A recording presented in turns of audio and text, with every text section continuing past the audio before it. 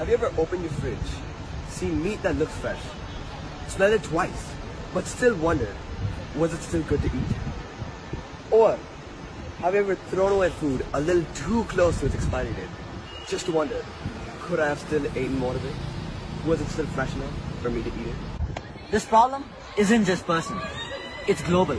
And food wastage is a worldwide issue. And one of the major contributors for this is protein-rich food, which is silently getting spoiled.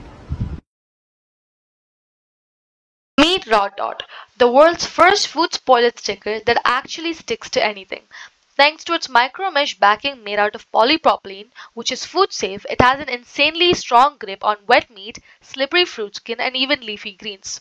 The magic is 100% natural, a thin starch film loaded with anthocyanin from red cabbage. This plant pigment is a safe edible pH sensor. When the food releases gases as it spoils, the pH drops and the dot instantly shifts from fresh green through yellow, orange, red, and to deep purple. Inside our product Rot.Dot, a natural pH indicator changes colors as spoilage gases like ammonia raise when meat goes bad. Stable under refrigeration, it stays accurate and only reacts when bacteria grows. Simple, affordable, and tells you at a glance if your meat is still good.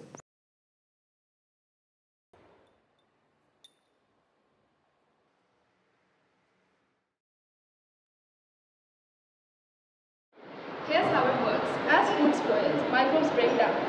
Naturally, bacteria breaks down proteins, which releases organic volatile substances. These VOCs include carbon dioxide, sulfides, and amines. Here's where our product comes in. Our sticker contains anthocyanin, a natural pH-sensitive dye. When the pH shifts, the color changes. This is what the color change indicates. Blue means safe, purple means early spoilage, And red means unsafe. Improving film durability levels and standardizing color shift levels. designing a version for vacuum sealed packaging. Calibrating food sensors for different food varieties such as vegetables, fruits, and lentils.